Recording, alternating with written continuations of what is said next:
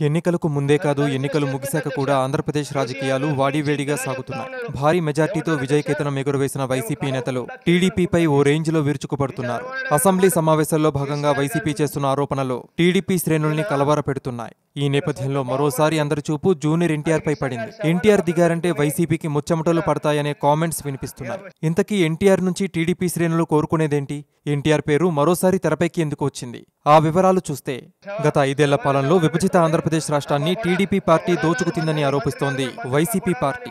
TDP హయాంలో అన్యాయాలు అక్రమాలు పెద్ద ఎత్తున జరిగాయని అసెంబ్లీ వేదికగా వైసీపీ శ్రేణులు విరుచుకుపడుతున్నారు. ఈ మేరకు టీడీపీ వైసీపీ శ్రేణుల మధ్య వాదోపవాదాలు బలంగా సాగుతూ పలు చర్చలకు దారితీస్తున్నాయి. ఈ పరిస్థితుల్లో రంగంలోకి దిగారు నందమూరి తారక రామారావు మనవడు చైతన్య కృష్ణ. గత ఎన్నికల్లో టీడీపీ తరపున యాక్టివ్గా పనిచేసిన నందమూరి చైతన్య కృష్ణ తాజాగా తెలుగు తమ్ముళ్ళ మీద దాడులపై ఆగ్రహం వ్యక్తం చేస్తూ వైసీపీకి వార్నింగ్ ఇచ్చాడు. ఈ మేరకు ఆయన పోస్ట్ చేసిన ఓ వీడియో రెండు తెలుగు రాష్ట్రాల రాజకీయ వర్గాల్లో హాట్ టాపిక్గా మారింది. దీనిపై తెలుగు తమ్ముళ్ళు ఫుల్ ఖుషి అవుతున్నారు. దివంగత ముఖ్యమంత్రి నందమూరి తారక రామారావు కొడుకు జయకృష్ణ కుమారుడే నందమూరి చైతన్య కృష్ణ. గతంలో జగపతిబాబు హీరోగా వచ్చిన దమ్ చిత్రంలో కీలక పాత్రల్లో కనిపించారు చైతన్య కృష్ణ. ఆ సినిమా ఘోర పరాజయం పాలవడంతో సినిమాలకు దూరమైపోయారు. కానీ తాతగారు స్థాపించిన టీడీపీ పార్టీకి మాత్రం తన వంతు సహకారం అందిస్తున్నారు నందమూరి చైతన్య కృష్ణ. లాగే జూనియర్ ఎన్టీఆర్ కూడా ఈ సమయంలో టీడీపీకి మద్దతుగా నిలిచారంటే సమరోత్సాహం వస్తుందని తెలుగు తమ్ముళ్ళు భావిస్తున్నారట. కుదేలైన టీడీపీకి ఈ స్థితిలో జూనియర్ ఎన్టీఆర్ సపోర్టు చాలా అవసరమని టీడీపీ శ్రేణుల్లో మరోసారి చర్చలు ఊపందుకున్నాయి. ఈ తరుణంలో చైతన్యకృష్ణ లాగే అలాగే జూనియర్ ఎన్టీఆర్ కూడా ఓ వీడియో రిలీజ్ చేస్తే వైసీపీకి ముచ్చమటలు పట్టడం ఖాయమని చెప్పుకుంటున్నారు తెలుగు తమ్ముళ్ళు ప్రస్తుతం జూనియర్ ఎన్టీఆర్ ఆర్ఆర్ఆర్ సినిమా షూటింగ్లో బిజీగా ఉన్నారు. ఈ నేపథ్యంలో టీడీపీ వైపు ఆయన చూసే ఛాన్సే లేదని అంటున్నారు విశ్లేషకులు. పైగా టీడీపీకి ఎన్టీఆర్ సపోర్ట్ అవసరమని ఎన్ని వార్తలు వచ్చినా ఎన్టీఆర్ స్పందించకపోవడం చూస్తుంటే ప్రస్తుత రాజకీయాల పట్ల ఎన్టీఆర్ సుముఖంగా లేరని తెలుస్తోంది. అందరికీ నా నమస్కారాలు. ముఖ్యంగా వైఎస్సీపీ పార్టీకి వాళ్ళ కార్యకర్తలకి వాళ్ళ లీడర్స్కి అందరికీ పేరు పేరున మీకు అందరికీ ఒకటి తెలియజేసుకుంటున్నాను. ఈ మధ్య వైఎస్ఆర్సీపీ ఎప్పుడైతే అధికారంలో వచ్చిందో వాళ్ళు దాడులు చేయటం ఎక్కువగా అయింది. తెలుగుదేశం పార్టీ కార్యకర్తల మీద ముఖ్యంగా. కార్యకర్తలు అనేది మా నందమూరి ఫ్యామిలీ మెంబర్స్. వారు మా పార్టీకి ఆస్తి. అసలు అసలైన శిశులైన వారసులు.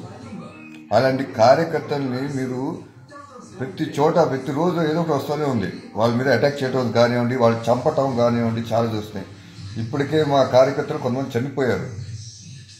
మీ దాడులు వల్ల సో మీకు అందరికీ నేను విజ్ఞప్తి చేస్తాను రాజకీయాలు అంటే హత్య కాదు. రాజకీయాలు అంటే అభివృద్ధి పగలు ప్రతీకారాలు ఇలా తీసుకోకండి ఇది కరెక్ట్ పద్ధతి కాదు.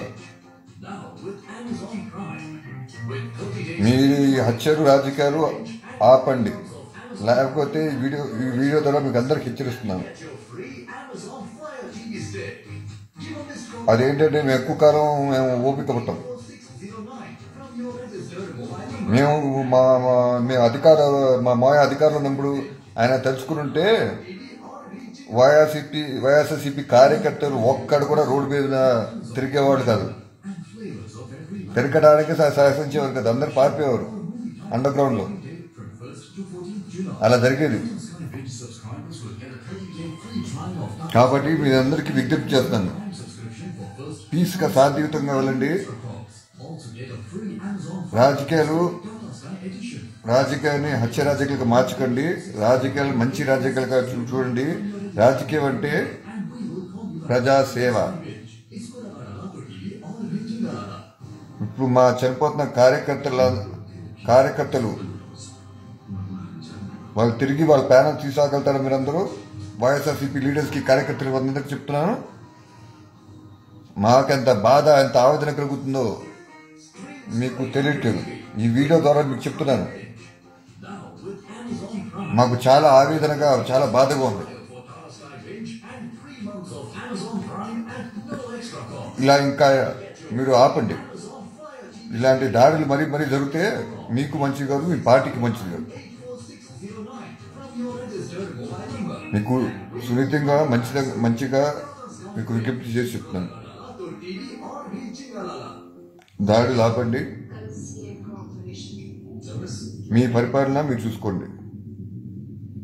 Thank you